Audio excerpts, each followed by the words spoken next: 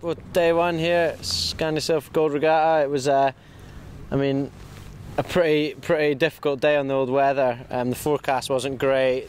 The wind's due to swing almost a 180 degrees, and it started to do that. And right now we're back ashore. We've only had one race, and uh, and so we're waiting for some more wind and to go and do it again. We won the first race, so that's fine. You know, you, you can't win the regatta on the first day, but you can lose it. so we're happy to have got a bullet under our belts in the first race, and um, a long way to go. It's a marathon. I think that any race we do is important. You always want to win, you want to learn, and and so by that logic, any race in any regatta is important. But um, it's not the Olympics yet. You know, it's a uh, it's a warm up regatta if you like for the Olympics. But uh, you know, we'd love to, to come away from this week having having had a good series under our belt, and hopefully that means standing on the on the podium with a medal.